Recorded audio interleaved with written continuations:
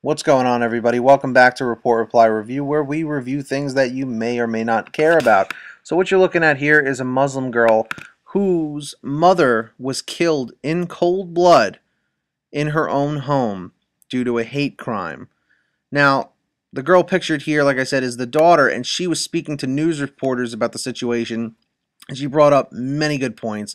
And I do want to say one thing the news reporter interviewing her was a complete idiotic moron.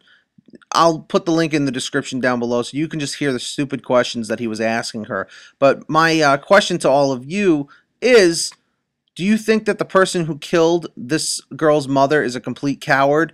Give this video a like if you agree so. And if you disagree, give the video a dislike. And please give your thoughts on hate crimes and how you think that we can possibly stop them. Leave it in the comment section below. Please remember to subscribe and thank you for tuning in to Report Reply Review. We do appreciate it.